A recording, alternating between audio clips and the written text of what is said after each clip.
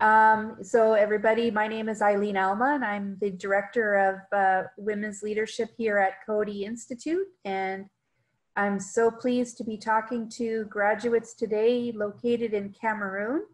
And today um, the session is being co-hosted by my dear friend and Coady graduate, Adah. Adah, do you want to say a, a word about yourself? Hello, everyone. I am Adah Mbah. Thank you very much, Ellie, for the opportunity given to us to come back again. Um, I am the executive director of Mother of Hope Cameroon, an organization that works with women and young people. Um, I'm also a Coady Graduate 2018, a GCL, that's Global Change Leader. And, and I'm very happy to co-facilitate the session with you.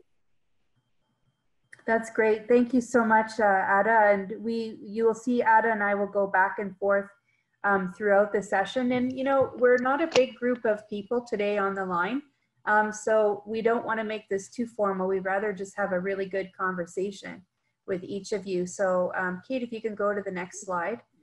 Um, you know, the purpose of our conversation today is, um, is something quite similar to what we've been doing with graduates from other countries. Um, to date, we've had uh, we've had sessions with um, graduates that are located in Nepal, in Ethiopia, um, in Uganda, and we uh, now we're having one with all of you. Next week, we're having a conversation with graduates in Nigeria.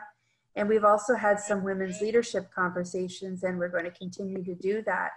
So today, um, you know, we're going to talk a little bit about um, the um, the state of things in in Cameroon, um, in particular, um, knowing that of course Cameroon is also conflict affected, but right now, um, in particular, we want to focus in a little bit on on the ways in which we're responding to the pandemic and what kinds of work that you're doing um, in your communities to address the the issues of the pandemic.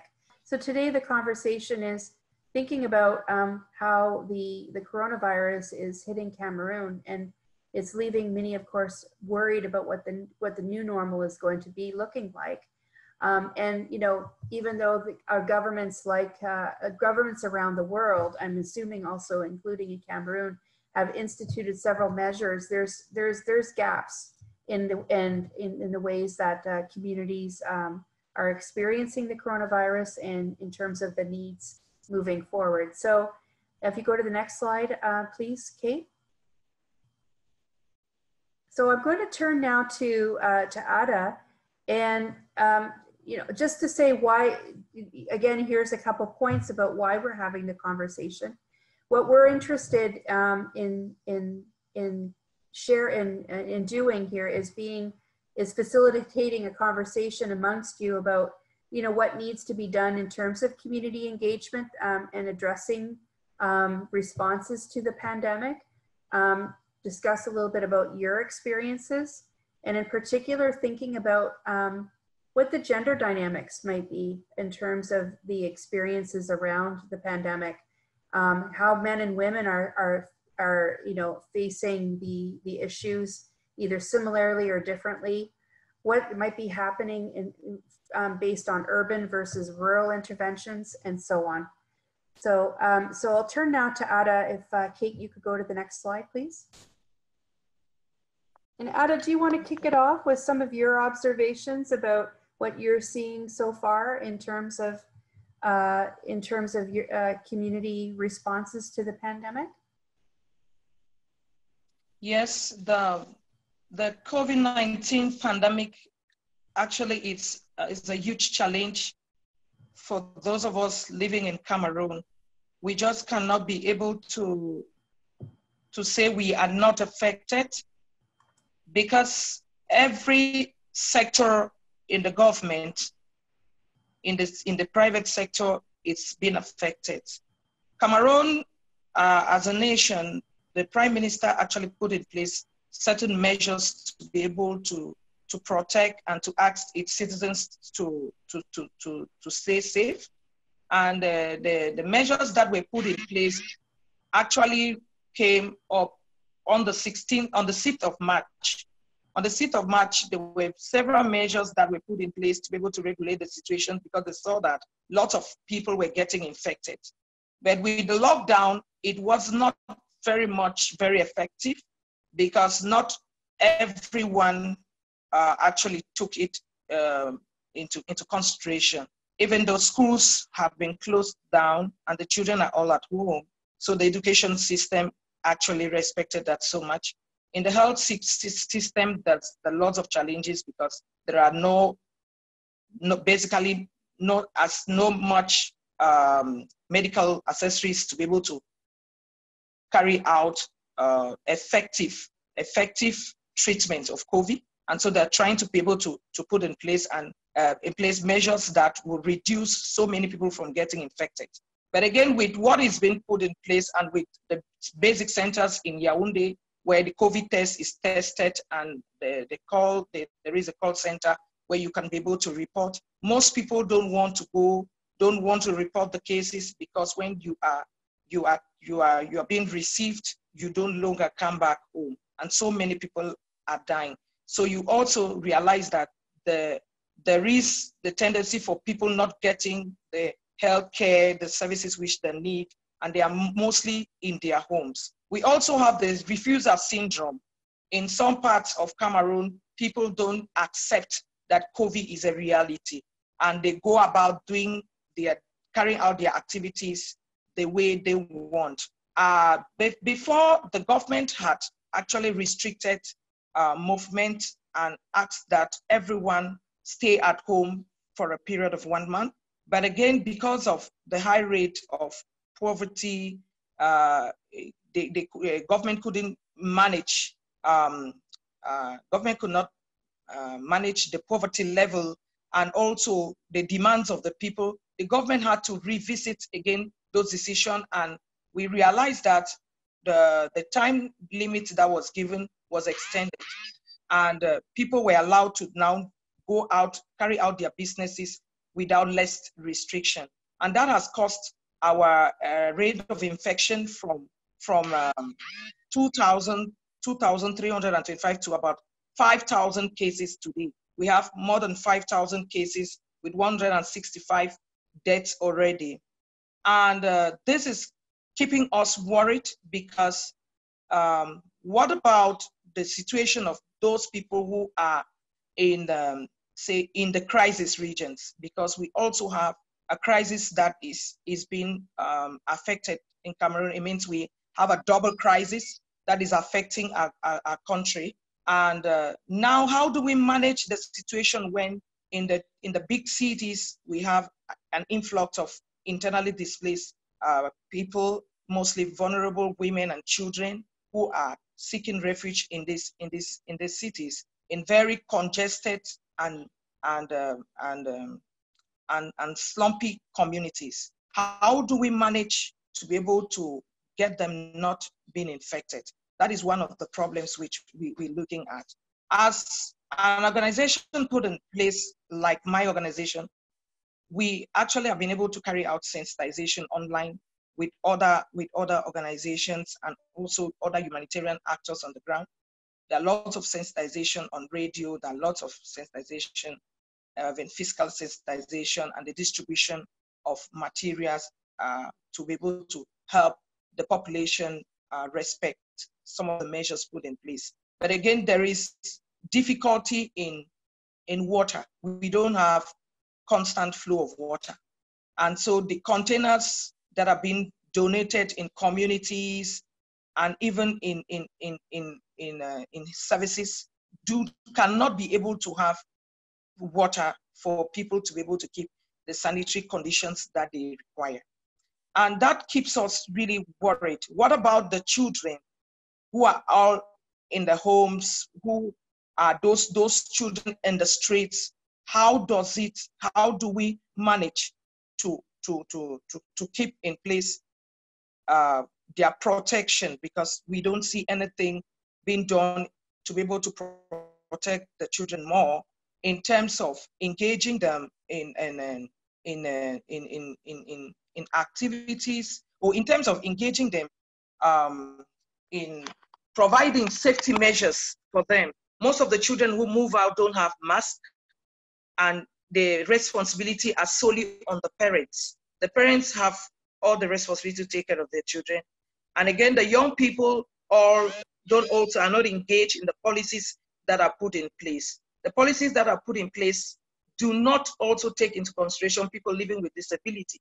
What about their conditions? No one really cares. So there is a lot of lapses in terms of COVID Cameroon, and we are thinking that raising our voice more is going to be able to help the government put in place. They're wanting children to resume schools next month on the 1st of January. But how would that happen when so much is being, uh, being left undone? We have so many people getting infected, and there are no measures put in place to be able to protect these children. And so, in in in in a in a, in a global um, um, in a global phase, you will see that Cameroon still has a lot to be done on the ground to be able to protect its citizens from being infected from COVID-19. So in everything, in all the domains, we don't see gender being mainstreamed.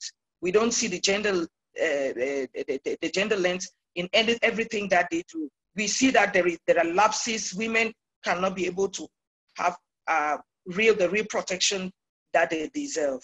I think I, I'm going to be able to, to stop there and we will get more contributions from our various Coady graduates who are in the house to tell us how they have been able to manage this challenge in the various domains that they work. Thank you. Thank you so much, Adah. And I'd like to actually open it up to, to hear where, what others are thinking about the, the challenges that they're seeing right now in their communities. Um, and if you can just, uh, if you could say your, again your name and um, and whereabouts you're located in Cameroon, that would be helpful. So would, would somebody like to start? Uh, I'm just looking for somebody to put up their hand. Josephine, can you start it? Can you kick it off and then I'll turn it over to somebody else after that?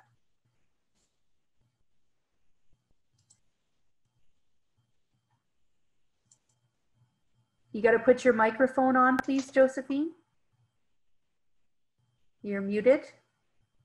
Wait, I'll unmute you. I'll try to. Oh, go ahead.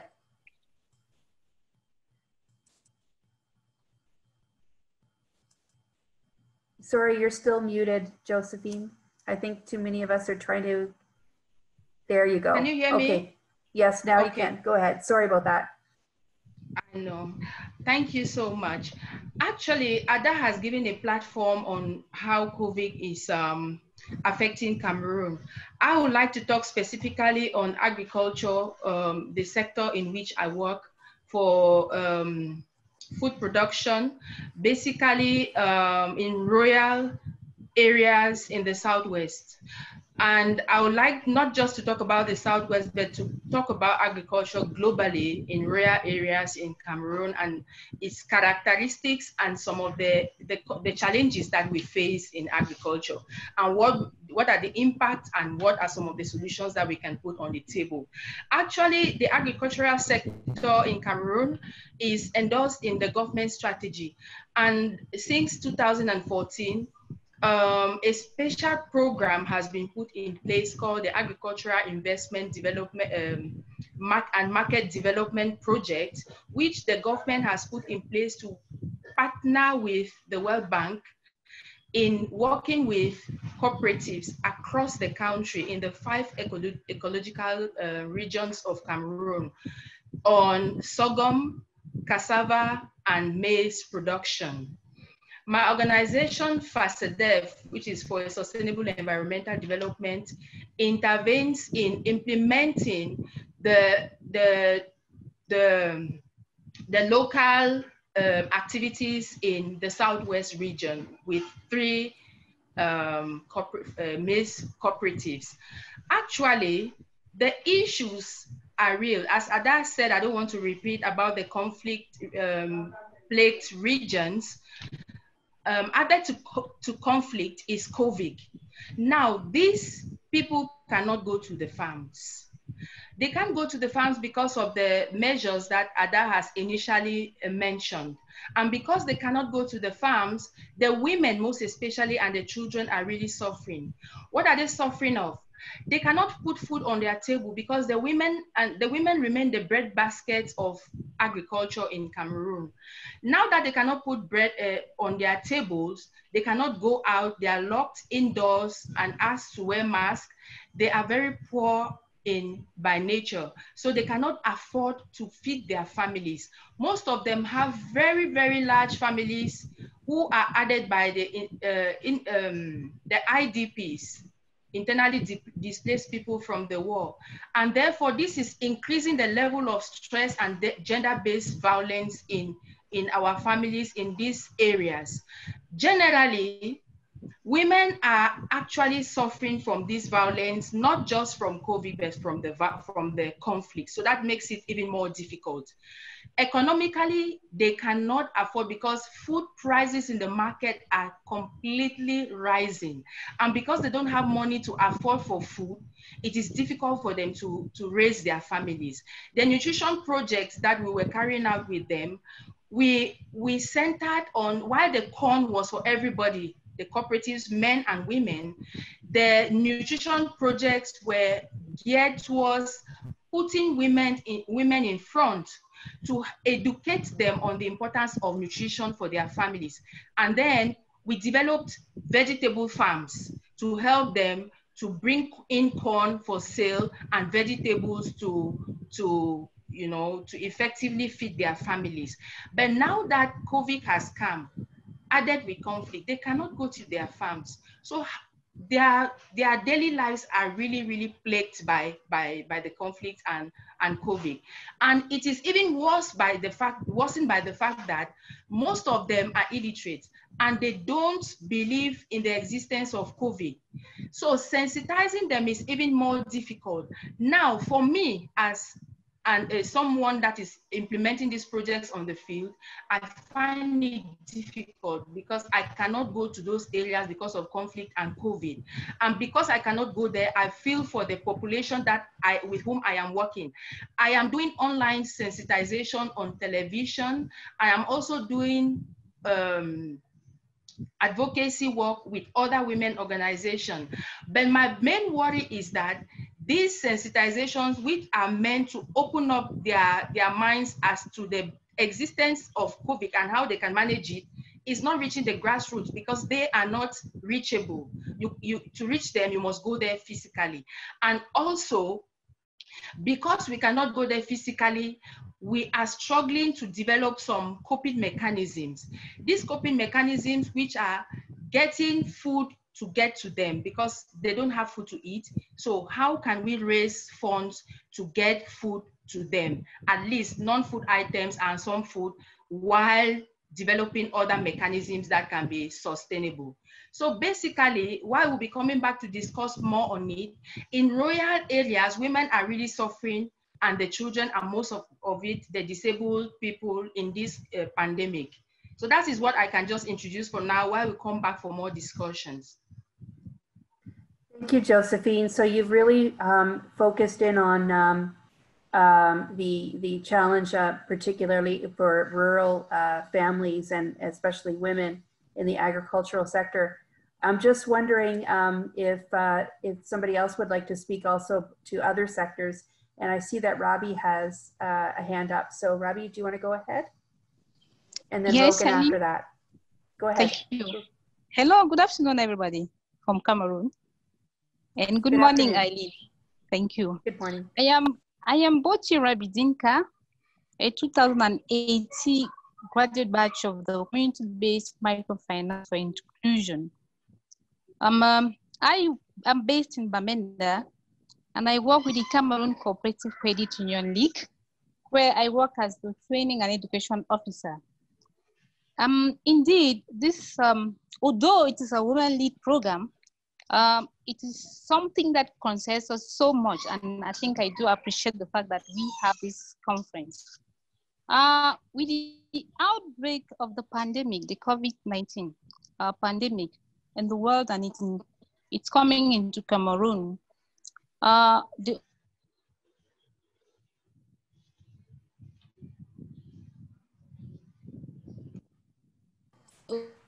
organization where I work, the Cameroon Cause of Child, and the mic, the mic went. Are we together? Hello, someone getting Yes, me? thank you, Robbie. I, I can hear you. At there was a bit of delay, but it might have been on my side. Okay, thank you, Eileen. Okay, so I was saying that the pandemic has just come to add to, like, without overemphasizing, to the Northwest and Southwest regions crisis as far as our activities are concerned. And uh, the effect has been so much because it is coming to meet the people that had already been fragilized. Yes, uh, in the Cameroon Cooperative Credit Union League, we cover the entire national territory, where the crisis in the northern part, the Boko Haram, the one down the northwest and southwest all affects us. So the effect of the pandemic, uh, to us, I think I would like to look at it when we'll be talking later, uh, has been threefold. Eh? Basically,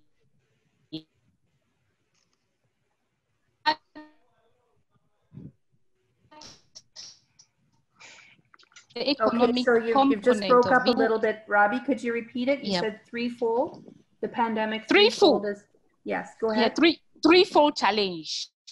Mhm. the economic, the social, and the digital. Those And are can the you elaborate on the digital one? on the digital, because when we come, the very most effective and important measure of managing the COVID pandemic is social dis- distancing. Workplace had to be reorganized such that the staffing is reduced.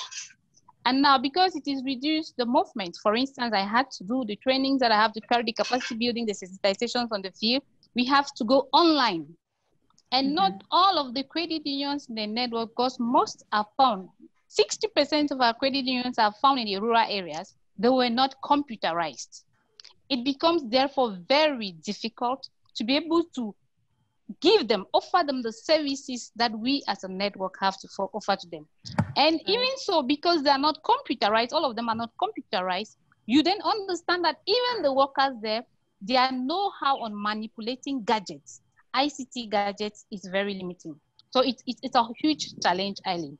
So, and that is what I'm talking about. I don't know if this makes sense as we'll be talking later on, but that It is sure- a huge challenge does. we're talking about.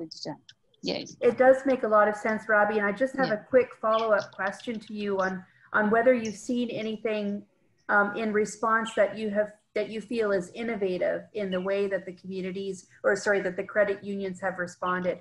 Has there been anything Yes. that, I mean, because it's easy to focus on the challenges, but what Yeah. has been the response to that, that you've seen? effectively effectively um the, the, the, credit union network is supervised by the Ministry of Finances in Cameroon, but Right. in the CEMAC zone, in the Central African state, it is supervised by the Monetary Authority, called COBAC, the Commission, the Banking Commission for Central African States.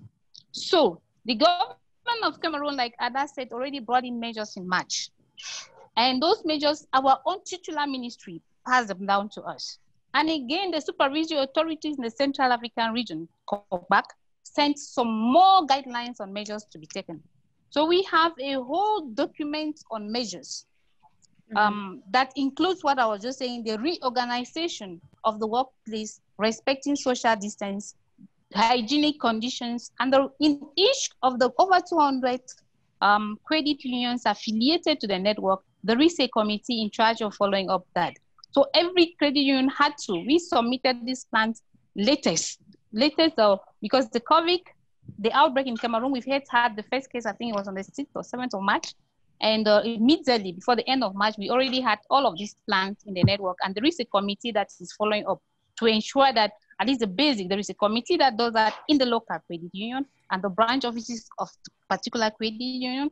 And then there are hygienic measures, portable water to wash hands and soap, uh, the alcoholic-based uh, hand sanitizers, and then the, the, the reorganization has also taken into consideration. Many people have been sent on leave Mhm. and some actually because uh, of the crisis that were already there uh, the, the returns that's uh, the productivity of the credit unions had fallen down so some have even gone on technical leaves which leads to the social component Right, and yeah. who says social yeah who says social component says the woman because being microfinance we did deal with the people at the base i think uh, the critical examples the specific examples will be coming later on as we talk Sure.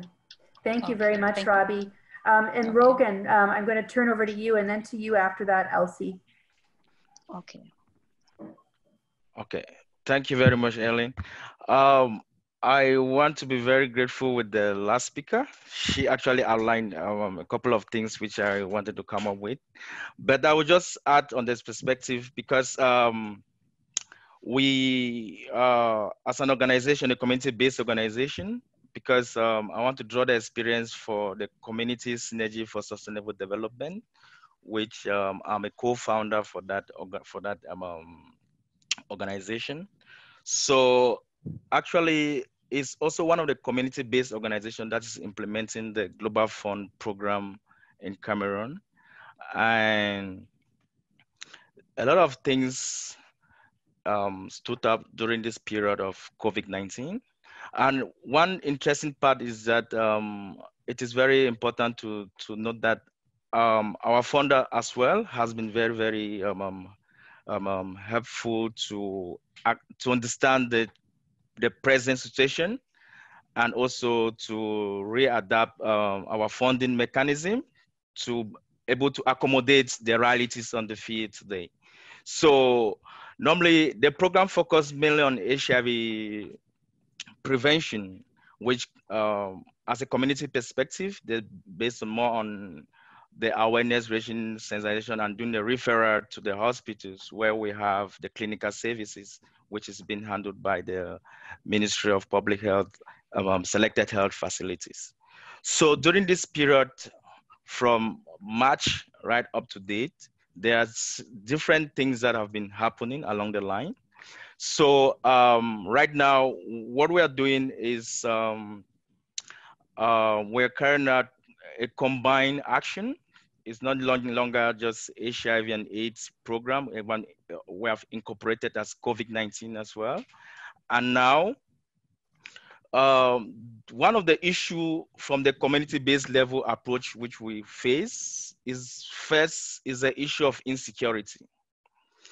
Um, I will just cite one recent example that happened recently in Muyuka. I don't know if we have some graduate from that community, Muyuka. Over the weekend, um, we had cases where the unidentified gunmen actually kidnapped three of our field workers and which they were actually doing um, community-based um, sensitization of um, COVID issues. And considering the current situation where the government have put in place certain um, um, emergency acts like people shouldn't go out public places without the mask.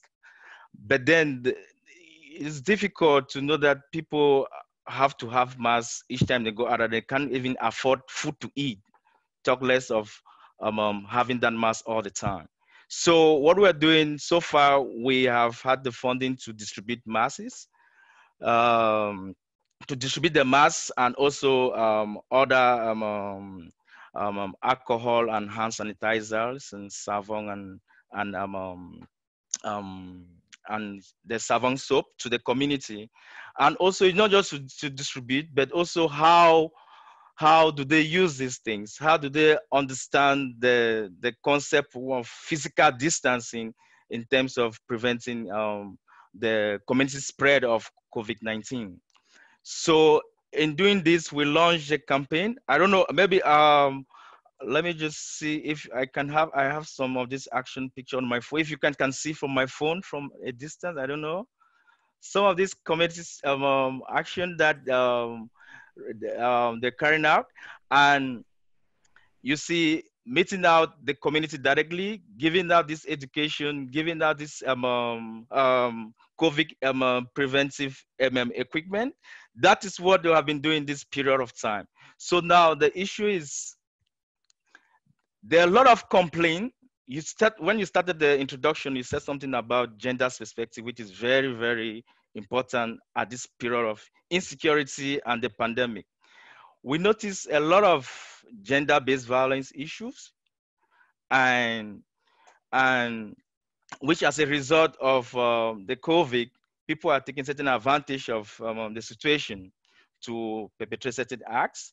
And also in terms of healthcare, we understand that um, there are other issues of, uh, of, um, of healthcare which um, have in some percentage has been abandoned women actually had difficulty to access healthcare, health facilities at this point in time. And also the fear which they have um, um, put in terms of the into the community, like if somebody is sick and you just like you people actually have that feeling they have their loved ones someone just passed away and they just attribute that to covid and the family we have a lot of complaints they said oh my my father was sick and my father wasn't like um, anything doing to COVID immediately passed away. The government just said, oh, they need to do the barrier for them because it's COVID case and stuff like that. So we try to see how they can create a balance, even though we're trying to make sure they had that prevention. But how do we understand these are human? We are all humans. These are they live with these people, and if we're trying to prevent the community spread of the COVID, but then they should also um, um, um have that um, impact in terms of uh, that feelings where that feelings they have for for the young for for the for the loved one in the family. So um, we actually met with um, different authorities at the community level. We had this conversation with the, the mayor and right now what did one one of the major challenge that we are facing right now as we speak is the issue that um, the senior divisional officer for for Fako and for Meme, where the operation is currently going on, which we supervise, um, said that they have stopped, uh, they they, they stopped community action in terms of um, um, distributing COVID preventive um, um, um, um, products and equipment, labeling that to political campaign or something and saying that maybe it's opposition parties that are sending um, community-based organization to distribute materials, and we had to go a lot of a lot of administrative procedure, a lot of documentation to prove to the authority, and the governor have to visa that with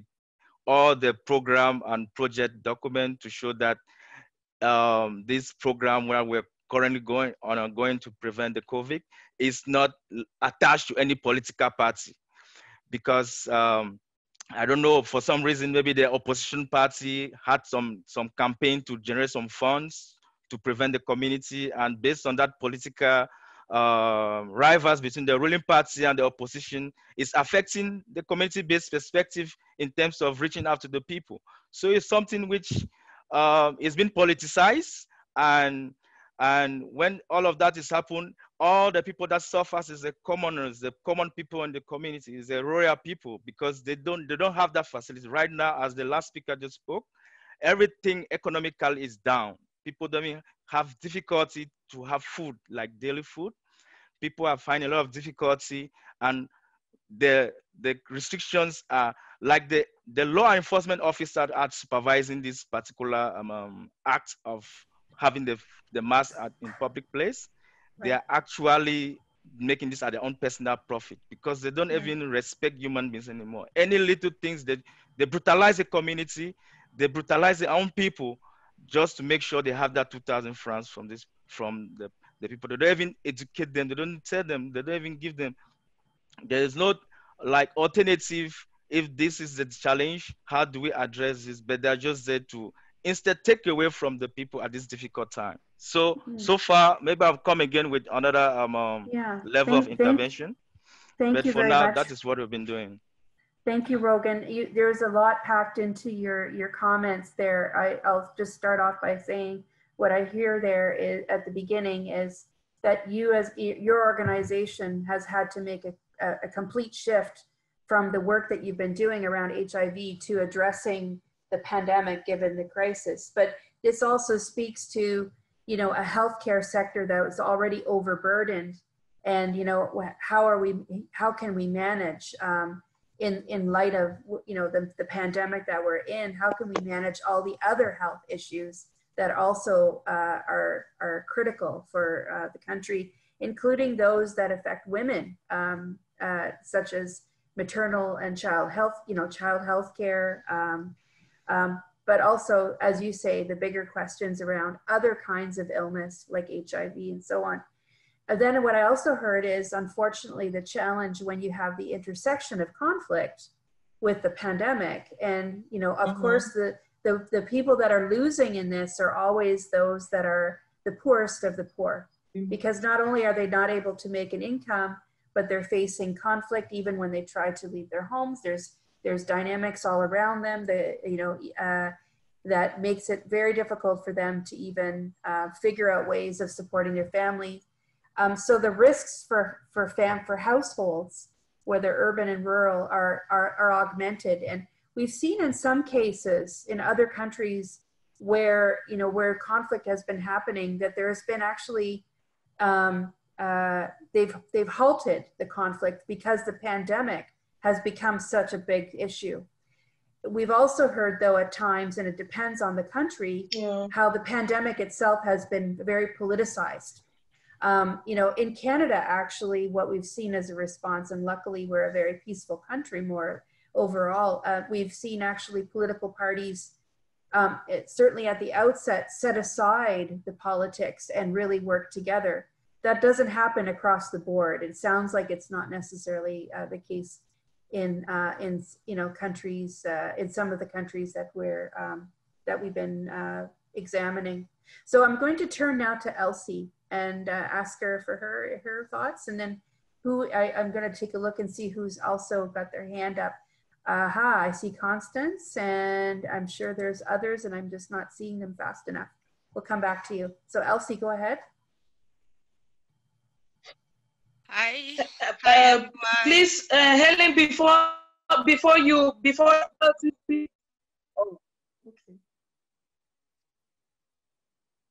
Hello. Okay. Hello. Yes, go ahead, uh, Adah. Go ahead. Hello. Go ahead. okay, I just wanted to add. I just wanted to add to the point which you talked about the conflict, uh, the, the the pandemic being politicized. Yes, in the areas where the conflict, uh, where we have the conflict, some issues of that have been, been able to be recorded. Where material which was donated for COVID to, to the local population that was suffering were burnt. And we also are also witnessing the fact that many people don't even want to accept that government is doing any actions to help them fight the pandemic. They don't see anything good in what government is doing. Mm. And this makes it very difficult to be able to implement the measures that are put in on the ground. I just wanted to add to that, that we are also facing that kind of challenge. And it's a bit difficult to be able to change the mentality of the people to understand that there must be some support from government, which is meant to, um, uh, to, to, to, to solve the problem, not because of any political reasons that government is being able to donate those things uh, I think I just wanted to, to re-echo that, that we know that uh, we, we are talking globally. If we, if we really want to be able to talk, let us give the global issues. If we have to get into talking on issues only on the conflict, it wouldn't be very, very balanced. Let us give issues that affect all, all uh, that affects Cameroon in a globe because there are also other people who are not in the conflict areas and they want to see how much Cameroon is being uh, treated on this piece. Thank you. Okay, thank you very much, uh, Adah, for that point. Um, I'll turn back to Elsie now, but very good points around the importance of interventions for everyone right now um, by government and otherwise, um, by community-based organizations as well. So Elsie, go, go ahead. Hi, everyone. Thank you very much for giving me the opportunity I really appreciate this program and it's really an opportunity for us to speak and give our views of what has been happening on the ground. My name is Elsie Tabemonso. I'm the Executive Director of Integrated Youth Empowerment Center based in Limbe. Actually, we work to advance gender equality and empower women, youths, and vulnerable children to effect positive change. So our main areas of intervention are healthcare promotion, humanitarian response, social justice and peace, and gender-based violence. Looking at our organization and organizations around our area at this time of the pandemic, it's been really challenging. It's a, it has not been easy on our side because as an organization, we have so many challenges we are facing in order to operate and carry out our projects. At the level of the organization, we have tried like to start practicing what is on the ground, social distancing. What we did first was to like rearrange a sitting of the organization to see that it meets the standards of social distancing. We have also work, we have also tried to make sure all employees come to work with face mask and like at the entrance of the office, we have put a stand there where you have to wash your hands before getting into the office. So those are some of the measures we have put in place. Then we have made sure that going out to work, because we do most of our work at the field level, going out to work, all, all the staffs they have to put on their face masks and they have to respect social distances two meters apart when they are like talking to clients at the level of the field. So going back to our work, it has not really been easy. We have had so many challenges at this time, drawbacks on our projects. First of all, there is an issue of internet because normally we have an internet we pay generalized in the office where people can access internet and we pay like monthly bills. For some time, everywhere was the everywhere was closed and we had to continue paying the bills, though we were not using the internet services. And with that, you have to like give the staffs separate you have to get into separate budgets for the staff for internet services because when, while they were working at home they still needed to use internet, which was really challenging to us and out of the scope of our budget. Then we also have issues like at this period, we usually have volunteers coming from abroad and other areas to Uh, assist. They have been a great help in the organization. But at this period, it's not possible because of the COVID-19. So we have gone into measures of creating online volunteering as a way of achieving that and we have also suspended suspended some of our projects. We have upcoming projects that were supposed to be coming up, but they have been suspended because of the crisis. And we go now into more of storytelling. We are just like trying to bring out different ways of working while the crisis is going on. Yeah, we we do more of storytelling now and online advocacy and online stores. Then going back to our work, we have been working on humanitarian response. On our humanitarian response project, we have reviewed our humanitarian response project and added activities for COVID response, where we'll be working in Fako, Ndian, and Manyu at the grassroots levels. During this project, we'll work, we'll be doing monitoring and reporting of COVID-19 cases and incidents. We'll establish a flash alert system in the grassroots where they can report cases of COVID-19 and the symptoms at the level of their communities. We also do an assessment on the COVID situation where we can easily get hand-on-hand -hand information from the grassroots levels because that is a really big challenge. Then also on GBV, we have we are also trying, we are doing more sensitization on gender-based violence and specifically on COVID-19, try to sensitize the community, especially women on how they can, the different measures they are supposed to put in place and how they can help themselves to get to not to get into the the situation, especially domestic violence situations, gender-based violence situations, sexual exploitation, because there has been a rise in sexual exploitation at this time of the crisis. We have also we have also written a project where we are expecting budgets to purchase hand sanitizers, mm, face masks, while carrying out the community advocacy, we can like give it to the community, donate it to the community where they can be using them because those things are really important at this time. And with the economic situation, most people cannot afford for it. Yeah. While doing this work, also we make we put in since we have a gender policy in place, we make sure we respect the gender policy to make sure that the women and the men are treated equally. Women have what they are supposed to have, and everything is done respecting the gender norms. So Elsie, can I interrupt you just there for a second?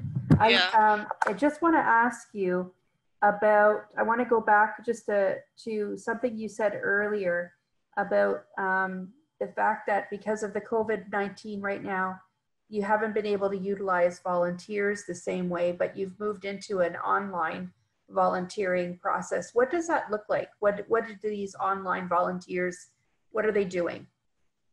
Yeah, like for example, we used to have volunteers who come to the organization, like women empowerment volunteers. They work on women's empowerment. We'll have like healthcare volunteers who like go to the ground to work on health issues. But now it has, we have a different face of the volunteering. Now we look more on like putting up volunteer opportunities for those, for example, web development and how to expand the organization. And we also work with like on healthcare, we want a volunteer who can like come out with different programs, especially COVID-19 programs at this time to be to be used on the ground. If we can have a volunteer who can do that, that will be fine for us. We have just put we have put up the volunteer opportunities right. and we are waiting for response. Okay, thank you. Yeah. I'm going to, I'm just going to, uh, what I, what I want to just say um, in response to, to what I heard from, from Elsie, but also from others, is um, that we're really interested in understanding um, responses in addressing gender-based violence, in particular in, in the pandemic. So if you have examples of what you've what you've been doing with your organizations um, and what has been effective, um, please do share them with me um, at Women Lead at uh, stfx.ca. Um, I'm, I'm finding that in particular something uh, that I really want to understand globally how um, how best we we can move forward on that. I think there's there's uh, there's a lot of I've, I've heard a lot of good examples of of thinking about sensitization in communities. But what I'm curious to know is the effectiveness of the sensitization, um, and you know, and how do we know that it's working or not working? So these are things that I think uh, would be great to explore even uh, beyond the webinar.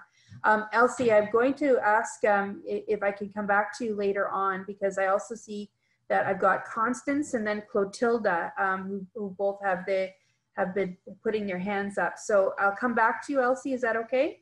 Yeah, um, okay. Great, thank you. And so Constance, do you want to go ahead, please?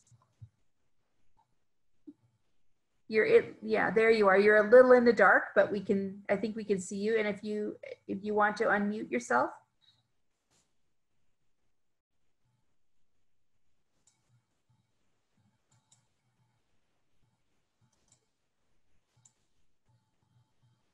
Uh, Constance, we cannot hear you. Hello. There you go. Now we can hear you. Go ahead, please. Okay, I, I would say I'm introducing myself. I'm Constance Kamgar, uh, Coady graduate 2018, double certificate holder. Um, I, I am the a resident in Yaoundé, I, I, I work with uh, 300 Women Voices. I am the co-founder and general coordinator of this uh, association. Okay, uh, sayings from our was coming back from Coady and my the knowledge skilled to me from Coady, we have I've been working. When we came back from Coady, I tried to to revive my organization, uh, which was not uh, very, very uh, uh, working, which was not really smart before I left. And thanks to Coady, when I came back, I had to revive things. And I want to say we have been moving on, we have been moving and working on the ground very effectively. Okay, relation, relating to, to our organization, we work with uh, in, uh, with, in women empowerment and uh, gender on gender-based violence and uh, gender equality. But we focus more on girls' education, women entrepreneurship, and, and peace building. So that is our area of focus where we work. And I want to say we have actually been on the field to what, what we have been doing so far for now mostly is sensitization. We sensitize, sensitized, uh, we go to schools, public schools, private schools to sensitize young girls and to meeting houses to meet with, uh, the mothers and women to sensitize them on parenting, girl child education especially on, on, on how to, to, to carry on uh, entrepreneurship uh, uh, actions that can lead them to sustainability. Okay, coming to the COVID-19 issue, uh, and I want to say uh, we uh, uh, relating to what Adah and Josephine and the others have been saying, and the fact that we are based in Yaoundé, it's not been it's not been easy for us because of the political policies that have been put in place by the government. And the fact that government takes a decision and at a certain time it, it, it, it, uh, it suspends the decision is making it a little bit difficult for, for us to actually work on the field and it's giving the population an idea that COVID-19 doesn't exist. And it, it is really, it is really a, a, serious problem on the ground. Now, for us, what, have, what we have been doing, mm -hmm. we try to sensitize the public on relating to the rules and regulation of the WHO on how to prevent COVID-19, like you have been saying, washing of hands, social distancing, wearing of face mask, and avoid crowded places and things like that.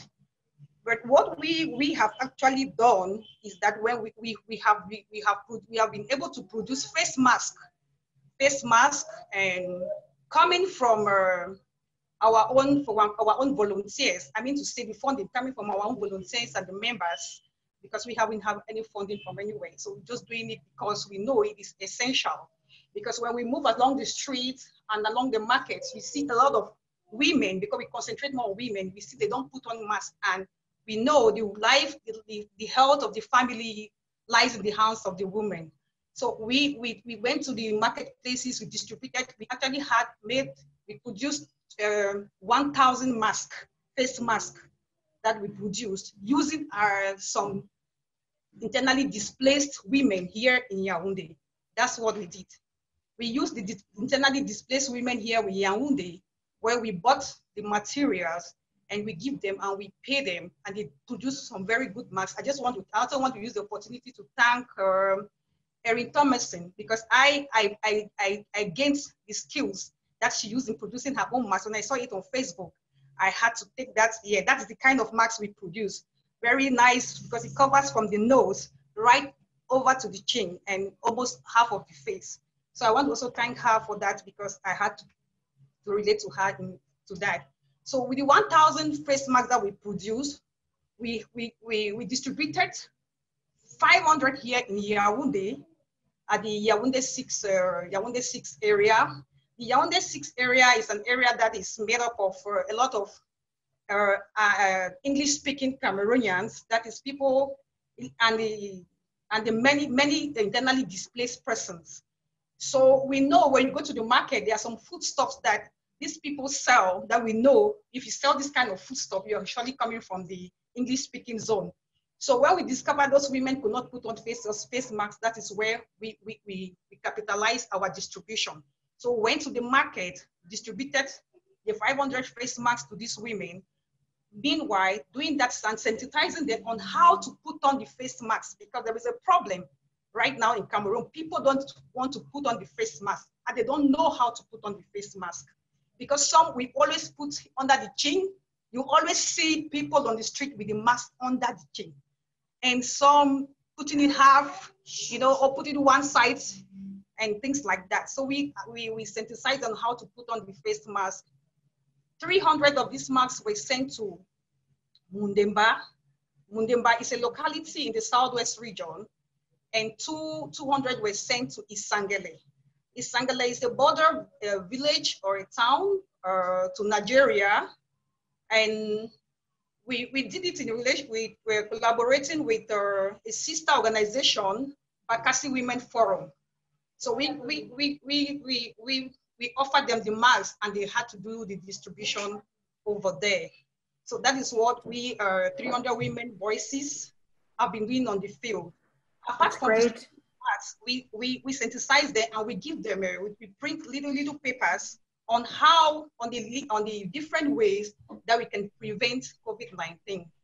Okay, mm. apart from that, we, the, the members of the, the, the, of the association organization, we had, we, we have been having meetings and we, we, we, we, we synthesize ourselves on how we have to uh, synthesize other people when we go back to the quarters how, to, how they should go about this prevention and what they have to do. For example, when if you have your neighborhood somebody coming from abroad, like uh, uh, somebody that has just flown in the, in the, in the plane from, from whatever country the person is coming, we should take a, a, a specific uh, attention on that person to make sure the, uh, if we, and if we have any, if the person have any symptoms of COVID-19, we should call the toll, uh, toll number of Cameroon, which we have as 1510, to make sure the Minister of Health is aware as far as that health is concerned.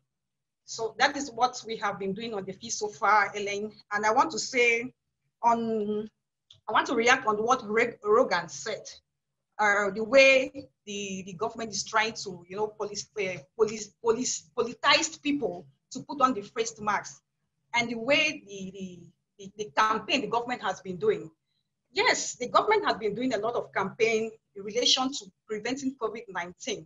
But the issue is, for example, when the government gives uh, uh, assistance to communities, how did this, how do they, how do they uh, uh, distribute these items to the community to make sure it reach the grassroots?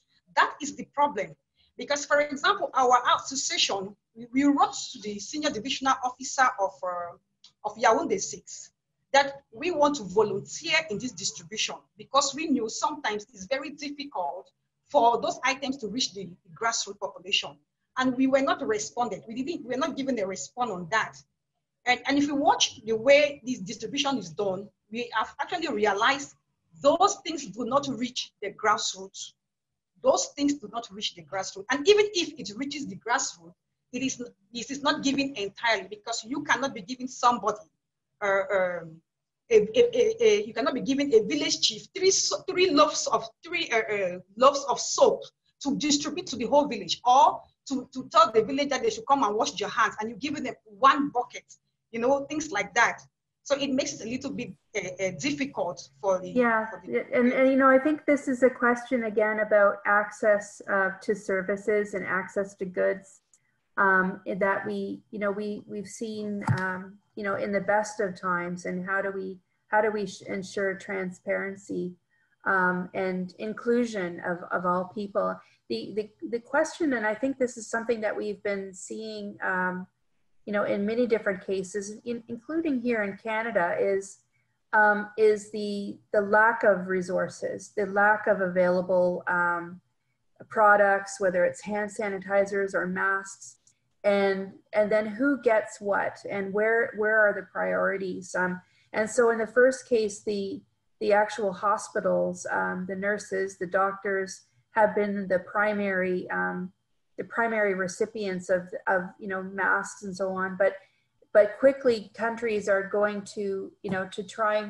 to make sure that there's enough of a supply for everyone. So how do you make sure that ha- that happens? And Constance, what I heard from you in terms of your organization is the the um, the way in which um, you know, you've been contributing, you, your organization's been contributing to, to the production. And I think this is something that, um, that I, I, I really think is uh, exciting about um, what I've seen from women's movements globally is the, the, the resourcefulness and the innovation that they've, they've had in terms of uh, the production of masks, of productions of hand sanitizers. So moving very, uh, in, in, very adeptly from sort of one kind of uh, economic uh, product to another um, in, you know, in terms of trying to, you know, meet the times and doing this also for, for some economic gain, but, you know, very little, but still something in terms of being able to produce, uh, to, uh, to have a livelihood. Um, I'm going to now turn to Clotilda, who's been patiently waiting. Um, and I haven't heard yet from patients or a few others, but I'll turn now. Oh, I see hands are going up as I'm talking. I'm going to try to get to everybody, but Clotilda, I'm going to start with you. Uh, could you go ahead, please?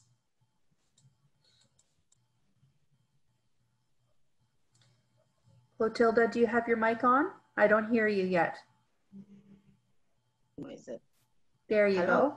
Nice to hear you. Nice to see you. Thank you, Eileen. I'm happy to see you too after a very long time. Yeah, good afternoon, everyone. I am Clotilda Andiensa. I'm from Cameroon, specifically from the Northwest region, Bamenda. I am a Global Change Leader graduate 2015, and I am the coordinator and the founder of the Center for Advocacy in Gender Equality and Action for Development, CAGED, and we work basically in four different areas of um, women's empowerment and peace building, under which we tackle issues of gender-based violence, sexual reproductive health, economic empowerment of women. And until the outbreak of crisis, we have been working basically in schools and rural communities. So with the coming of the crisis and the total displacement and destruction of women's homes in their areas and the total, total shutdown of schools, we had to re-strategize and start working mostly with IDP, IDPs, mostly women and girls. And through this, we were able to actually identify um, more than 500 IDPs in Bamenda town, and we provided to them uh, both food and non-food items. We continue to give them our education on sexual reproductive health, creating awareness for them because finding themselves in new communities was increasing their chances of being violated. So we held a number of uh, trainings to make sure we, we, we, guide against that. Then we continued making referrals to those who found themselves in these situations. We got into partnership with the CBC Health Board and uh, with the w, uh, uh WPF program that has established a one-stop shop in Bamenda where those who are violated can go there for um, an inclusive uh, consultation. So uh, with the coming of COVID-19, uh, which also again saw the shutdown of schools that were almost starting and we're going to go back to our work. We continued mostly with the, uh, our actions on peace building and um, we were very fortunate to, to get the funding from the International Civil Society Action Network. Um, I must say here that the coming of COVID-19 actually has disturbed us in that we had a, a, a very big peace building program which we had to involve women from uh, more than five councils in the Northwest region to mobilize them on the WPS agenda. But now we that, that is one of the greatest effects that COVID-19 has had on us. So because that project has had to be on hold, which means that our peace um, advocacy program is on hold. But it's important as everyone has to address the COVID-19 before we move on. And so looking at what we have been doing as far as COVID-19 is concerned, um, we are mostly into education and awareness creation. And we are doing our education and awareness creation in two different levels. The first part is online. And doing online advocacy, we actually sat down and came up with a very comprehensive plan. We are actually using just Facebook and the Twitter. And what we did is that we shot videos, live videos in the community where we realized that there was the denial syndrome. People do not believe in the existence of COVID-19. They call it witchcraft. They call it a political scam. They call it a government game. And uh, as the numbers keep on, uh, kept on increasing, we saw the need to do a kind of um, community-based awareness creation using videos shot in their local communities with people they know, using their common language, the pidgin English, so that they can be able to actually understand what this means. So we shot a total of 12 videos, which we have been using. We have been uh, uh, putting up two every week on Facebook. If you follow our Facebook page, it's CAGET, ad for CAGET. If you follow our Facebook page, you see that we put up a video every week. And when we put up this video, it engages so many people. And when people are engaged, you start asking so many questions. And that is how we continue extending our advocacy. And we want to talk about these videos. I've said we have one which is saying, no be witchcraft. No be witchcraft simply means in English that it is not witchcraft. And then the, the action, I think I've been sharing with the uh, Coady network, the actions that are portrayed there are exactly the actions that make people not to adhere to the, the, the principles of COVID-19. And one other thing we have done, I don't want to name all the various videos, but uh, Eileen asked something about uh, gender-based violence. One of our videos, which we are still to shoot, we want to shoot it next week because it has to be accompanied by, uh, we have shot it, we want to play it next week. It has to be accompanied by a watch party on gender-based violence, where we'll be bringing other experts to connect them online to share their life experiences. That one is titled Double Wahala. Double Wahala, in Double Wahala, a woman is sharing her experiences with another woman, how the COVID-19 has caused the husband to stay at home all the time. And he's unable to provide uh, the basic, the little food that they were having because he's unable to do the little kind of job that he was doing. And so this woman is alone. She fends and brings food and the husband is not satisfied. And above that, he wants to have sex with her like three, four times a day and uh, it ends up with a man beating her and even threatening her with a cutlass. We have had a lot of discussion around this, and we have had men to actually testify to say that COVID-19 is also making them look very weak in front of women because if they have their opportunities to be going about their things, they will not stay at home to see all of what is um, actually happening.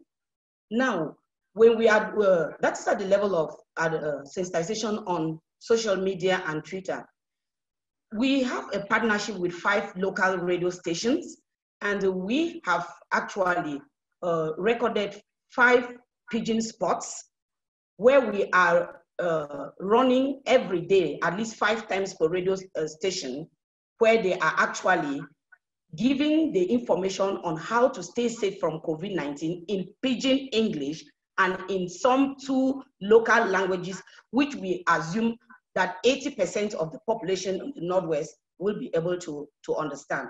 That is what we, we are doing at the level of the radio station. And we are going to also have a one day live uh, show or live, uh, yeah, live show on each radio station where we bring a medical personnel, a gender-based violence specialist, and a social worker to talk. The social worker will be talking on the psychosocial support that people need during this period, and the gender-based violence will be uh, highlighting issues of gender-based violence, while the medical personnel will reiterate how people need to stay safe from COVID-19.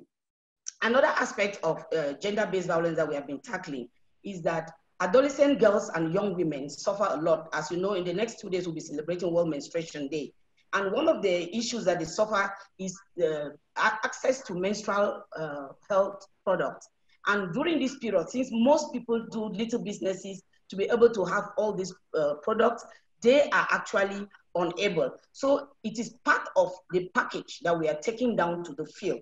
So for every community that where we are identifying, because our project, let me come back, our project actually is address is tackling IDP women and women living with disabilities.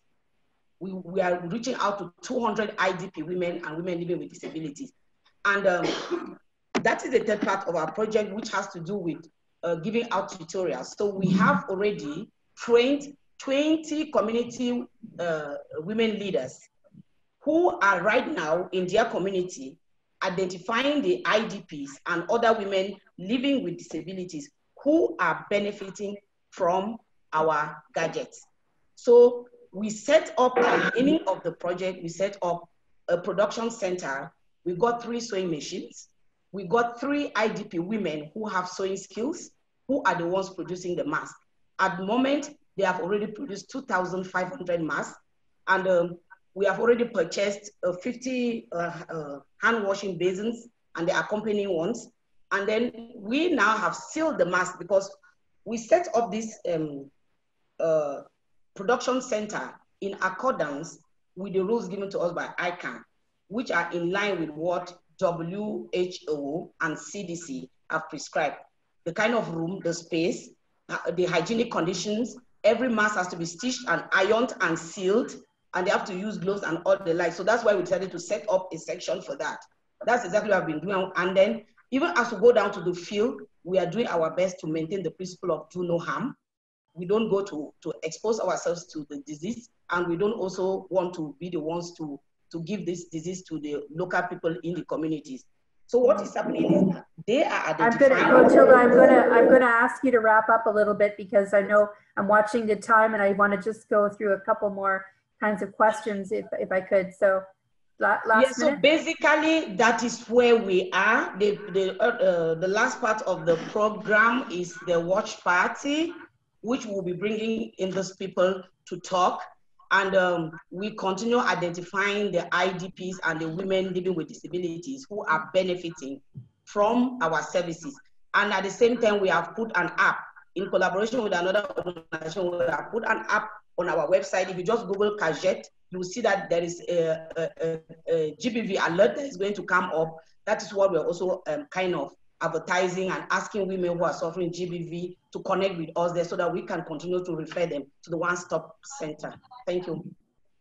Thank you so much, Clotilda. Um, uh, Kate, I'm going to ask you to flip, uh, flip to the next slide. I'm going to come back to, to our participants in just a moment.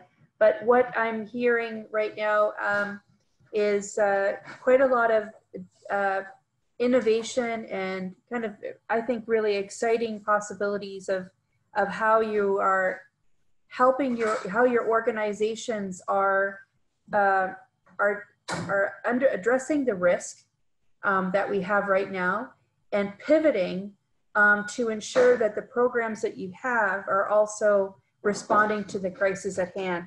So what I found interesting by, by you know, in terms of the Clotilda's response as well as Elsie's responses and others is that your organizations are, are really um, looking at how do you, how you're sustaining yourselves um, while you're still focusing in on those that are the most vulnerable as I put on the next, on this slide that you, you see in front of you right now. Of course, you know, I, I, I have a particular focus here on on, on, on looking at gender, looking at women in particular. Um, but you've already all mentioned um, working with children, looking at the aged, uh, persons with disabilities, and of course, all of those are connected to looking at economic, at the economically marginalized. Um, next slide, Kate, please. Um, so, you know, so your, your organizations are adapting and uh, one of you also, go to the next slide. One of you also mentioned that uh, your funders are have been flexible. That may or may not be the case for everybody, but um, you know where where possible, um, funders have been uh, have been I think obviously responsive to the moment they're in. Everybody's in the same position. Um, this is the unique part of it that we are all in the same boat. Um, but I think what's what I'm noticing also from an organizational level is a lot of concern um, that people have had to be either laid off or they're sitting at home and they're not able to work therefore they're not able to get an income. And so this also fits this also contributes to this churn of of fear and uneasiness and and, and worry that people have. Um, so go to the next slide please kate. So this is just picking up on you know these are the questions that we've been asking ourselves um, you know, how can we mobilize together? Um, I'm, what I'm hearing um, from the conversation that we've just been having, and all of you are Coady grads, um, but all of you are looking and addressing um, issues in a similar way um, based from your own organizational standpoint. So what are the ways that we can think uh, about working collectively, knowing that it's in addition to the pandemic, of course, there's there's there's you know, very serious conflict issues that are happening in the country. But what are the ways that we go back to thinking about at this this stage, um, you know, the the health and well-being of everyone, um, you know, the basic human needs um, in many ways is what we're back to at the moment, given the, the health crisis that we have. Um, and then as, you, as, I, as I've mentioned earlier, many of you are facing in your organizations issues that are related to your own sustainability as organizations. So what is it that we can do to continue to ensure that we can meet those needs while also ensuring our sustainability? Um, all of the all of the examples that you've been providing, I think, have indicated some success in that in that regard. But how do we, if this is the new normal, at least for quite a long time, for the next year or so, what does that mean in the long term for us? How do we need to be thinking about our strategies moving forward? So I'm, I'm going to go back um, for a moment to, uh, I know there was another hand up uh, by Ravi, but I do want to go back to Adah to, to see what her, you know, if she has any thoughts or reflections on what she's been hearing. And I also want to make sure that I'm not missing somebody who would like to speak. Um, so I haven't heard from Patience. I haven't heard from Mary who are both on the line. Um, so I do want to make sure that that opportunity is there. If uh, Patience and, and Mary, if you do want to speak, just put your hand up so I can see. And Rogan and Ravi, you both had, uh, I think you wanted to also come back in and weigh in. Um, so uh, yeah, I see Patience. So, but first I'm going to turn back to Adah and I'm going to keep an eye on the time. Um, but Adah, do you want to make a short uh, comment here?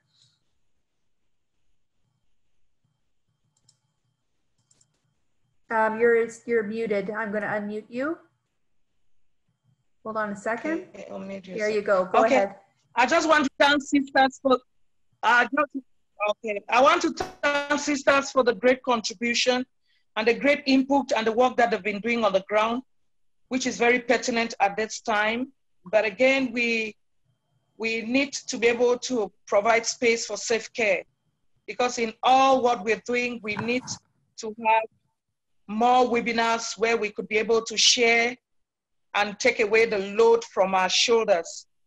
Um, there is a lot on the ground on mental health, and uh, my organization has been trying to do uh, some activities on psychosocial support for internally displaced women in the in the northwest uh, who are found in the in the center region and in the west region.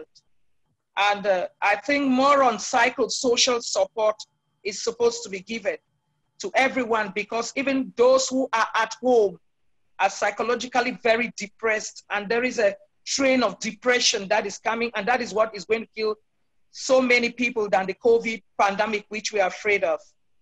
Um, mm-hmm. Lots of people are losing their jobs, especially in the educational sector, like I earlier said, since we're working in the schools. The private teachers do not have their salaries any longer because for four months now they, they have no salaries and also it gives space for gender-based violence to keep increasing because they will be able to take care of their families.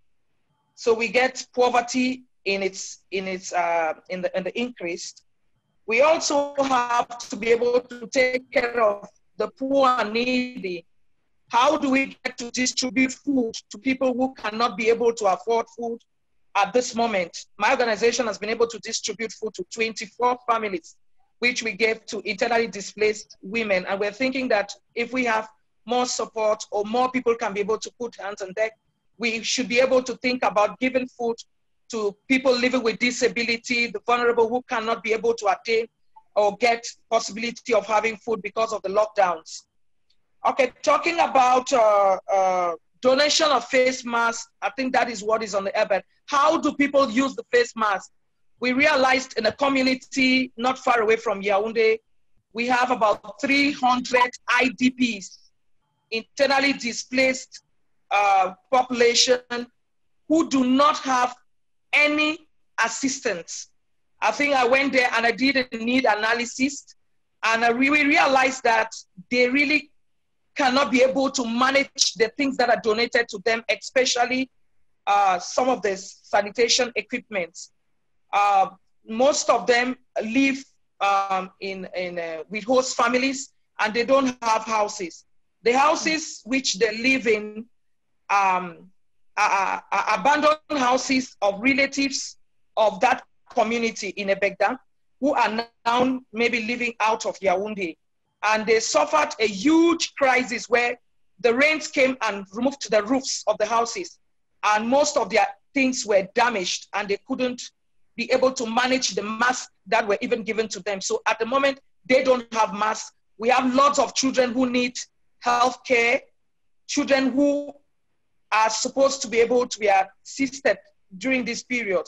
There is also rape, abuses, lots of abuses uh, found in that, in that community. I'm just giving that community as a, an example. But there are other yeah. communities that face these problems. So, the, so, the so what, I, uh, what I want to put in it, yeah, what I want to say is, in everything that we're doing, we, we mainstreaming gender. We want to be able to see how we are, are, are tackling uh, gender equality and also seeing how COVID can be mainstreamed in all the sectors that we work. Mm-hmm. How do we how do we manage to mainstream COVID in health, COVID in education, COVID in everything that we do because it is gradually, gradually uh, breaking down the, the system and also uh, the, the, the, the, the support put in place. So I think that to me, it's, it's, it's, it's a little contribution that I, I can put, sure. but we need to be able also to carry out research, do a situational analysis to see what is it that is being done on the ground in Cameroon and in other areas in terms of regulating uh, the, the measures that are put in ground. Are they effectively being carried out? What is it that should be done? Because we realize that we are multiplying effects, multiplying our efforts in in, in domains which we wouldn't have been doing, and other domains are left without anybody intervening. Young people are not part of the process, and young people are abandoned. And that's why we carried, we've decided to carry out a campaign with adolescent girls to be able to add their voices as volunteers for COVID. They should be able to talk about it in every domain where they are and accept it. And we are also telling them that uh, the COVID pandemic can also be transmitted through sexual intercourse. It can be transmitted through kissing. If you do not respect the social distances put in place, you do not respect um, putting on your facial mask, you will be contaminated. And we see the, the, the, the, the, um, the, the rates of teenage pregnancies increasing in the communities and also in the homes because there are no follow-up measures put in place to be able to curb down this effect on young people. I think that is what I wanted yeah. to add.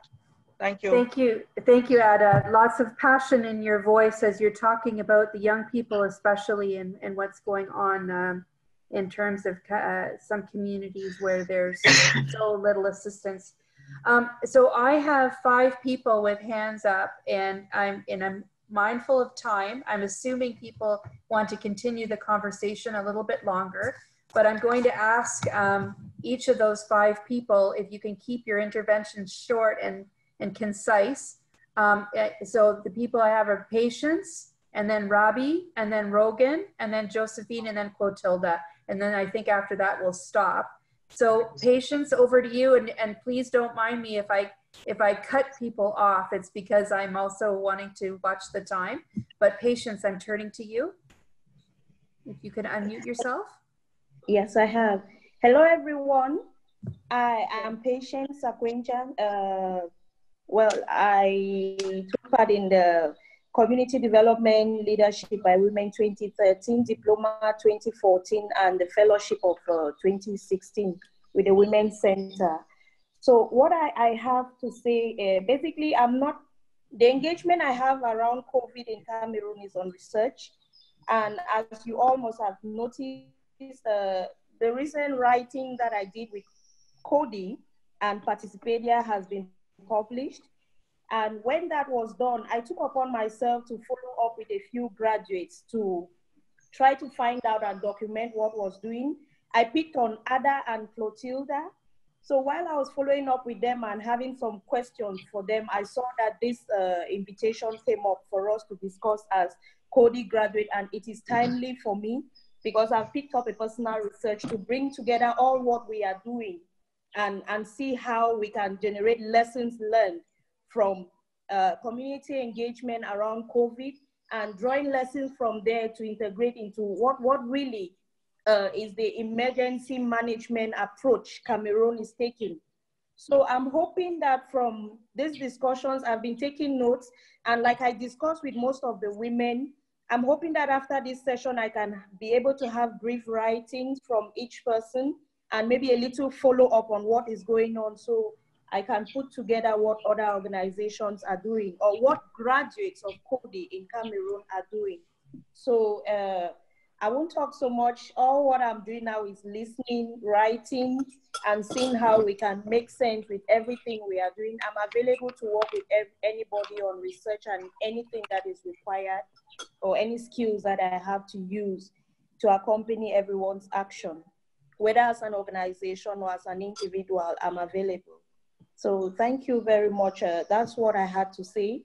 Well, briefly, that's that's what is important for now. Well, thank, thank you. you. very much, Patience. And um, I do want to echo Patience in that um, it's a great opportunity for us to be making sure that our, our collective um, voices, the voices of our organizations are being heard and, um, and sharing that and compiling that is, is, uh, is uh, I think, uh, a great way to um, engage in further conversations about how this group of, of very diverse men and women can come together um, as Coady graduates and think about collective action. And I do want to point out um, that we did hear from a few people that they were already doing um, storytelling as part of their organizational work. Um, and so, well, what are those stories that are coming out? That to me is this is the the starting point of all the research. Really is is you know sharing the stories of uh, of how communities are responding and coping. Um, so now I'm turning over to Robbie, who has her hand up and has been waiting. And Robbie, a very uh, short intervention from you, please. Go ahead. Thank you very much, Tani. Hello. Hello, go ahead. Okay, thank you. I, I must say that coming back from Coady in 2018 with um, the course on community-based microfinance for inclusion, uh, we engage in getting the woman actually involved. In the network, there existed already uh, the structure for women, but uh, the challenge was that women were not really enjoying their membership as far as the financial management was concerned. So we decided um, to be able to involve the woman in the kind of products that we conceived, especially with the unit that we call the Agri Value Chain Financing Unit. And uh, most women who are doing petty trading were involved. But now, in this uh, involvement, what has the pandemic done to them? Most of them are doing little things like selling of food and give them petty minor loans to do that, mini credits to do that. But with the coming advent of the pandemic, it's been very challenging and some of, some of them are becoming very delinquent. Why are they delinquent? Uh, the state, first of all, gave us uh, a measure that included uh, reducing uh, the number of passengers in cars because they have to go to the suburbs, buy the goods and come and sell, which became so expensive for them. Mm-hmm. And then not many people were really buying because of the other situations that we've explained. And so there was a lot of delinquency. In the measures that we've taken, one of them has been to be able to review the loan portfolio on a case by case situation and with a priority on the woman because their loans are never much, but they are the breadwinners. And so we, that's what we've been doing. And so when we review and listen to you, and see that it is feasible in another installment your loan is rescheduled. And like I was saying, most of the women do not um, um manage the gadgets. Unlike what I've seen in other countries, uh, people are very much in the digital digitalized economy. It's not the case with us. But we're trying to because we've involved new products. Recently, in the month of April, with the advent of the pandemic, um, the network uh, signed a three-party agreement uh, where we can be doing uh, lending and repayment through a product that we call Momo Cash, uh, which, which, was in partnership with the telephony company MTN and a platform called Crediscam. We're trying to uh, vulgarize it right now. And we also try to involve people to be able to save and pay through the mobile telephony, mobile money uh, transfer services. Uh, so the major challenge that we having now is um, the dissemination of these ideas uh, such that people um, get to accept it and do it. Because most of them are so scared in manipulating the gadgets. So it is, it is, it is a process that is challenging. And so if there was, because I'm coming to the question Eileen asked about what can we do collectively? How do we disseminate the fact that social distancing, for now that there is still COVID, is important, such that you must not come to the credit union to do your transaction. You can do it using your telephone. You can borrow money, uh, you can repay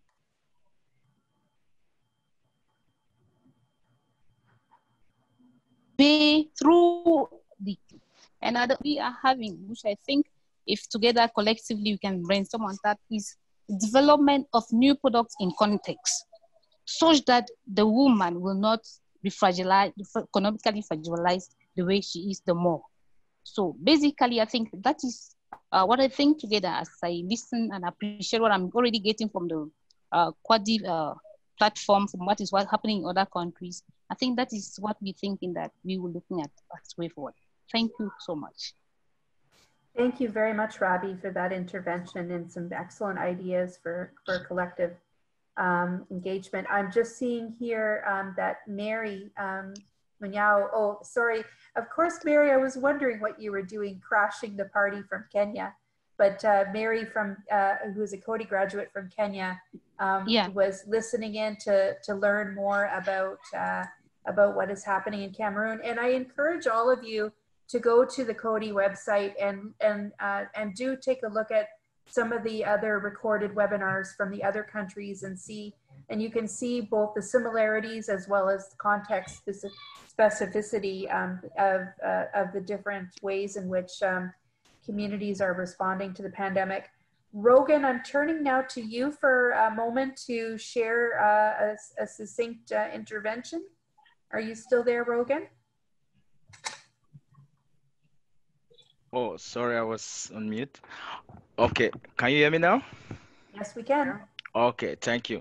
So um, just not to repeat myself from what others uh, participants just highlighted, I would just want to um, um, say that um, um, from from our anal analysis, it shows that um,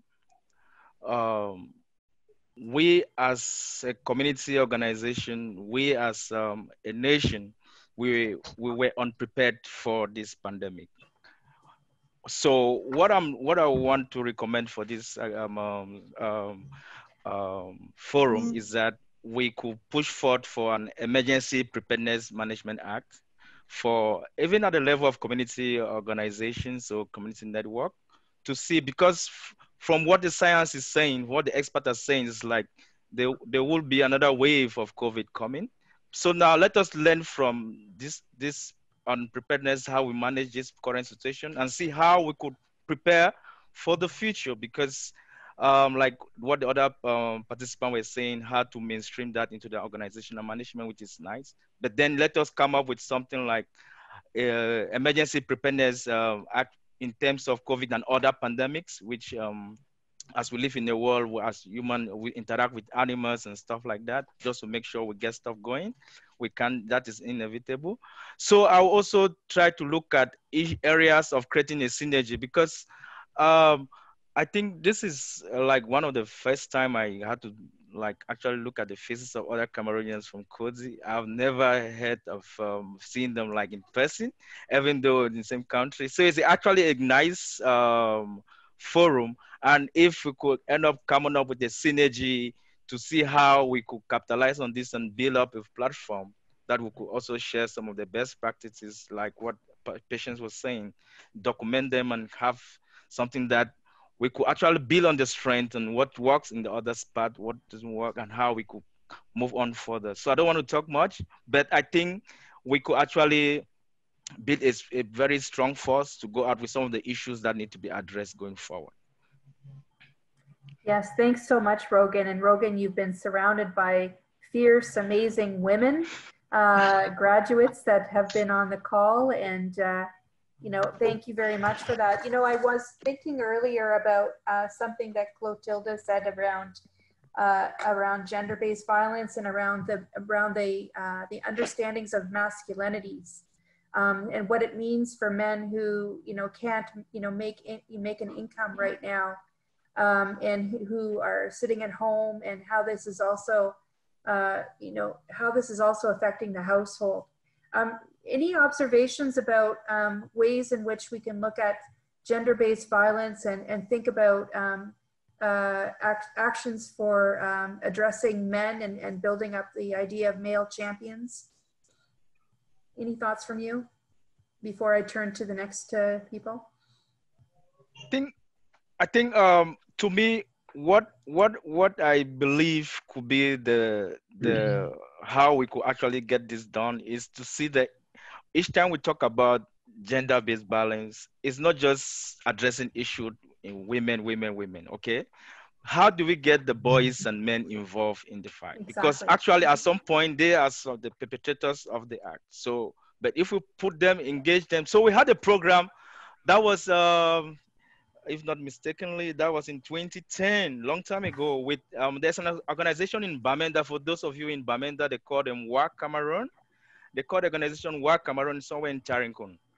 We had a program, an advocacy program, and one of that uh, one of the tools that was uh, recommended by the founder for that program that was bread for the world from germany was that we actually engage the the men and boys into the fight against gender-based violence so we had this advocacy and we use um, some of um, the funds in the northwest region we know we live in a society where the traditional rulers, they are very, very respectable figure in the community and the community people actually pay a lot of allegiance to them. So that was an entry point to make sure they assemble some of the men that were used in the program.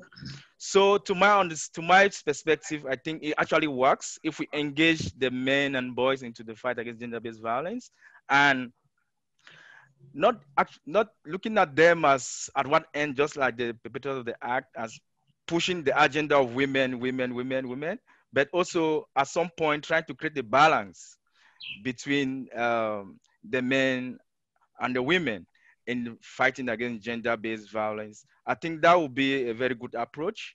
And also having the men standing front, talking about issues affecting women. And also trying to create, because we live in a society where the men have that power, they, they have that authority, and women, because of the the economic imbalance, women always tend to depend on their husband for little things, and men take advantage of that authority and trying to to use that to take advantage over women most of the time. So, so mm-hmm. most of the situation, uh, that disparity always eh, is always there, and then certain norms in the community, certain norms in the society, put men at that certain position that women have that limit powers. So we're trying to see how advocates at the level of traditions to see how they could loosen some of those um, um, religious, those cultural practices that always make create that disparity in terms of power relations mm-hmm. between men and women so that women could be free women could be empowered sure. women could make decisions women could be engaged into traditional council women could take leadership roles i i work in a situation where we actually um, um, review our our our our, our administrative and um, administrative procedure, our organizational administrative procedure, which were adopted in says that within the, the management of the board, if all the five position of the board is occupied by women, 100%, it is validated. But if the president happens to be a male, the vice president and the secretary general must be female. But in short a way that 70% could be female and 25% male. So giving women that leadership role. So if for some That's reason they have a, a, general elective meeting and the women I, are not involved, I, that I, is not, I feel like put you on the spot, Rogan, and now no, I that's okay. I, put you on the spot, but thank, but thank you. I think what I'm what I'm hearing from you is uh, is definitely a commitment, which is fantastic, and uh, you know this could take us into a whole other webinar. So maybe we'll we'll put it off to the side for now, but thank you very much. Um, Uh, I do want to say that we've got two more people still on our list, Josephine and Clotilda, and uh, and we are getting uh, very very uh, over time now. But um, if I could just ask Josephine um, to keep her uh, to say a few words and keep it uh, short and precise. Josephine. Thank you, Ellen. Thanks for all the wonderful things I've heard today. I've learned a lot. Actually, I am looking at um, I would just go straight to my agriculture sector because um, I, I guess there are some solutions we can put on board collectively. And I am looking at um, uh, non-agricultural livelihood activities. The women in the local uh, communities cannot make it because they can't go to their farm. So if we can collectively benchmark on some non-agricultural livelihood activities that will uh, enhance their economic lives. I'm also looking at um, TV talks. I'm already doing TV talks with some media to advocate for government to re-strategize during this COVID period because everything has practically changed and as someone said, we're not prepared.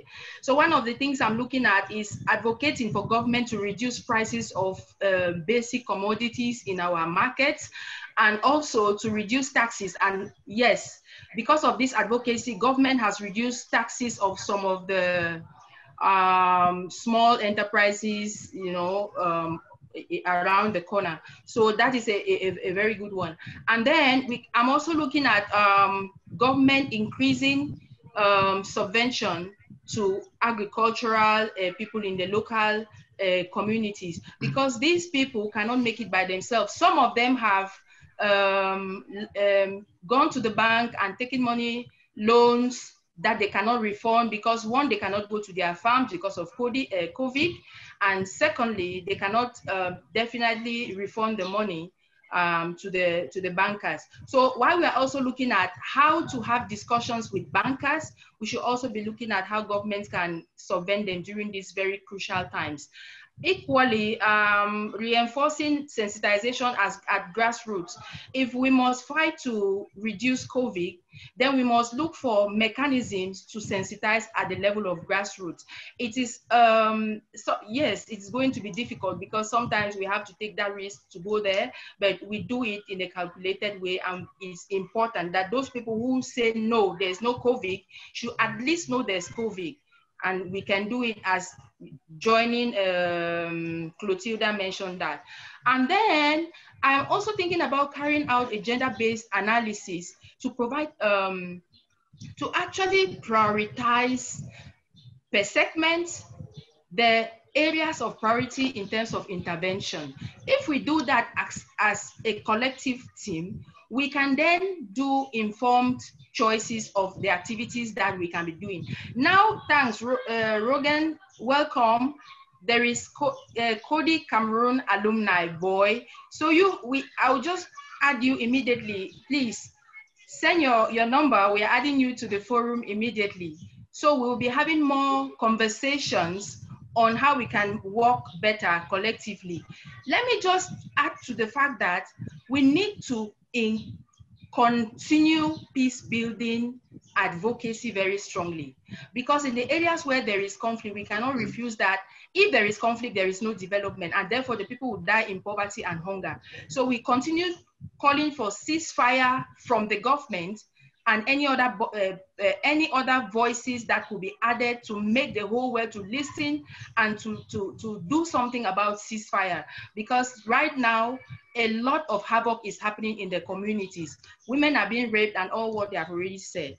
And then we must continue to um, last last point josephine oh, last point. Uh -huh. the last point very very crucial last point Ellen thank you, is that we should advocate very strongly for land acquisition for women in local communities. I am doing nutrition projects with these women. When I sensitize them, I need to, we need to go do collective um, community farms for their vegetable, the mm -hmm. vegetable um, farms these women don't have rights to land in local communities. And that is very crucial. If we are looking at the present, the midterm, and the long term, we have to collectively start thinking of strategies to make the government to give them some, you know, to rights to acquire land in, in, in local communities. Thank you so very much. Thank you very much. Oh, wow. There's a lot of, there was a lot of content in that short intervention, Josephine. Thank you. No, I was rushing for that matter. Good. And I'm going to ask uh, Clotilda to keep it very short. And then I see, Robbie, you've got your hand back up. Please, if you've got other things that you wanted to say that we didn't get a chance to get to, put type them in the chat quickly um, as we wrap up. But Clotilda, very quickly to you. Mm-hmm. Thank you, Ellie. And thank you, Madam Douala, for that lengthy intervention. Uh, um, I think they have said most of what I wanted to say, but I want to come to the area of sustainability. I think we want to see how we can, NGOs can be sustainable in their activities right now. I buy in the idea that we should build a synergy. Building a synergy now means that it will be important for us to concretize this platform of Coady alumni with the Coady Institute. I think we already mentioned something about uh, our wish to have flexible funding. If we can be able to have flexible funding, because we already know that this is going to be like a new normal, and which means it's not going to be very easy for organizations to continue maybe receiving funding the way they were uh, receiving when things were very normal. And we now have to handle things from a double perspective in order to survive. So um, my wish is that if we could uh, maybe join with the Coady Institute, maybe to develop proposals or whatever, so that can be able to provide uh, to members of this um, platform some kind of flexible or core funding. I think there are two different things. You have flexible funding, you have core funding, so that the organizations can be able to continue doing their activities. It is true that we are exposed to you here, so we can come back to you, we can have webinars all the time. We can be updated on what is happening. We can learn every day. But we need to be able to get this stuff. We need to be able to get down to the people in the field. And now the new challenge is most of what is happening is happening on on uh, the use of such appliances like the telephones, the computer, the internet, those they are becoming very necessary gadgets for every organization to be able to function effectively because if one of the key points of COVID-19 is advising people to stay at home and we are working on virtual space, there is need for us to see how we can have this backup of having these um, gadgets available for all of us to be able to move ahead. Um, I just want to say last point. Your last point, please. Yes. You said uh, they have said something about peace building. I want to say that the core of my course in Coady was on peace building as a woman leader, global change leader. And I want to say that it gave me a lot of strength and it is actually the backbone of what I am doing right now. So just to support Josephine, it is very important that we continue to do the peace building work. We continue to increase women's agency in the peace building.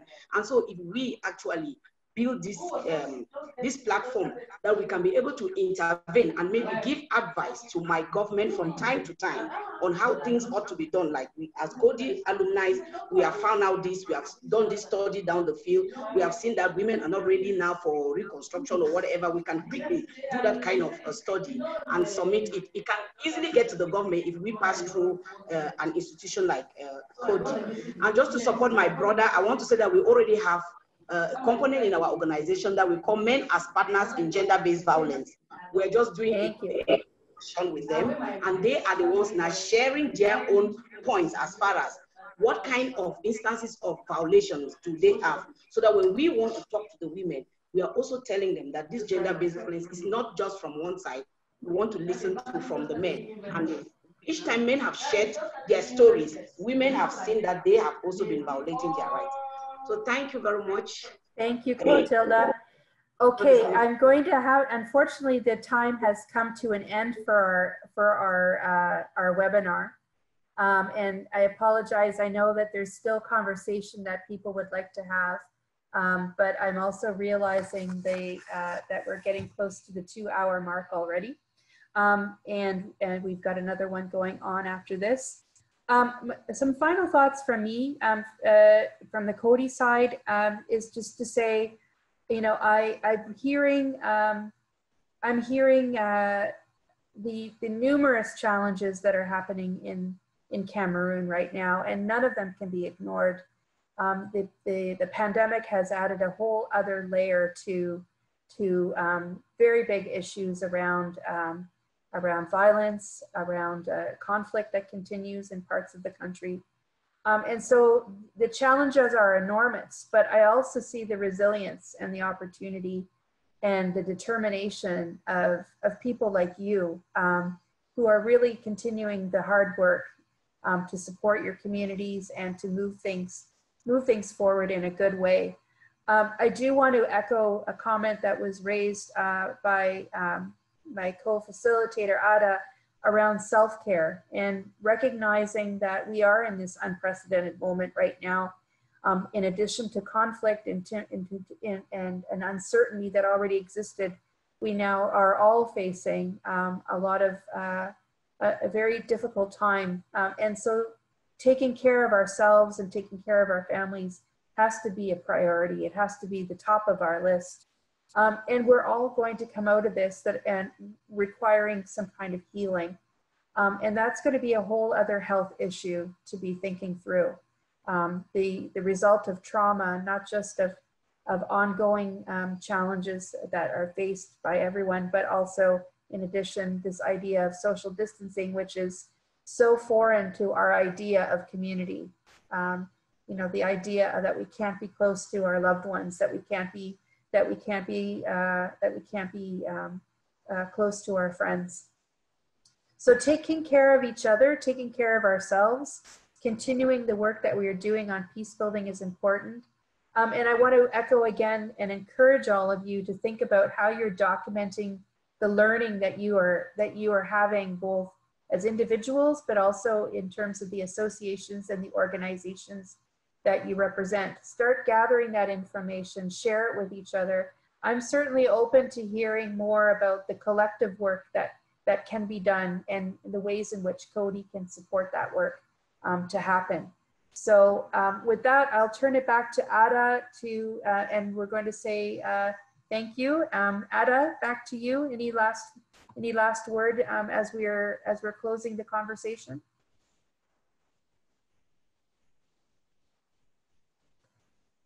Uh, I'm going to unmute you, Adah. There you go. Go ahead. Go ahead.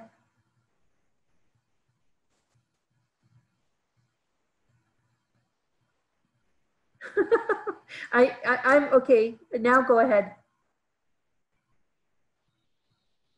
It keeps muting you again. You're muted again. I think we're all trying to play with your control. Sorry about that. Can you unmute it again, Adah, please? Nobody else touch it?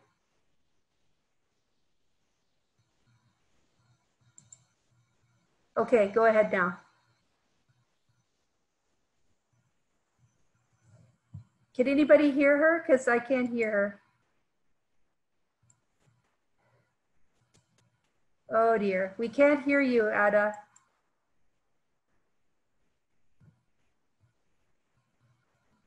We can't hear you at all, my dear.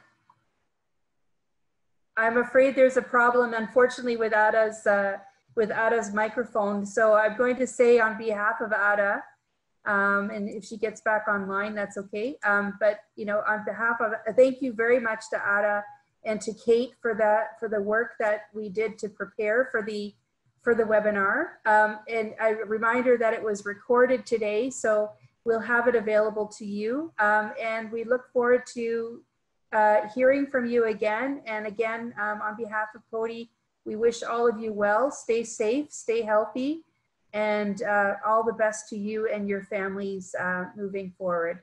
Thanks very much, everybody. Thank you, Eileen. Thank you. So good to see everyone. Me Such a mm-hmm. great, great chance to see all of you. I think I know pretty much everybody on the call, almost. Yeah. Thank you so much. Thank you. Thank you. Bye. Take care. Thank you so much. Oh.